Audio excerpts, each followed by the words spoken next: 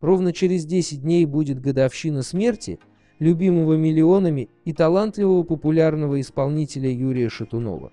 Певцу в 2023 году могло бы исполниться 50 лет, и многие уверены, что к этой дате он бы порадовал поклонников грандиозными концертными шоу.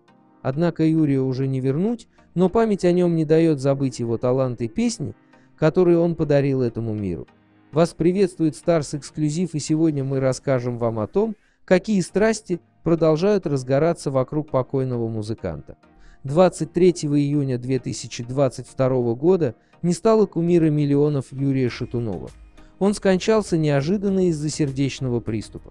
Страшные последние предсмертные видеокадры Шатунова мы публиковали год назад.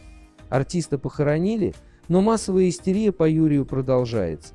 Безусловно, участвуя в группе «Ласковый май Шатунов», имел невероятную популярность. Тысячи девушек мечтали о нем. Поклонницы давно повзрослели, но любовь к Юрию не прошла. Кроме этого, на протяжении всех лет после распада «Ласкового мая» Юрий продолжал творческую деятельность. Он записывал новые песни, выпускал клипы и радовал поклонников концертами. Несмотря на то, что певец оказался однолюбом, около 20 лет Юрий прожил в браке со Светланой. Благодаря тому, что пара переехала жить в Германию, их не так сильно донимали поклонницы, которые считали Юрия своим и не хотели им делиться ни с кем. Да, помешанные девушки и даже зрелые женщины всегда преследовали Шатунова.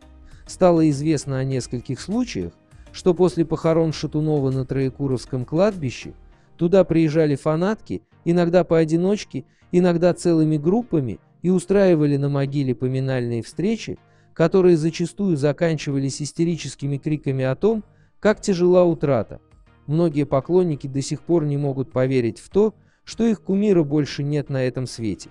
Отметим, что недавно стало известно, что 23 июня 2023 года на могиле Шатунова состоится поминальная панихида, организованная вдовой Юрия. Поклонники музыканта также планируют посетить могилу и устроить памятный концерт,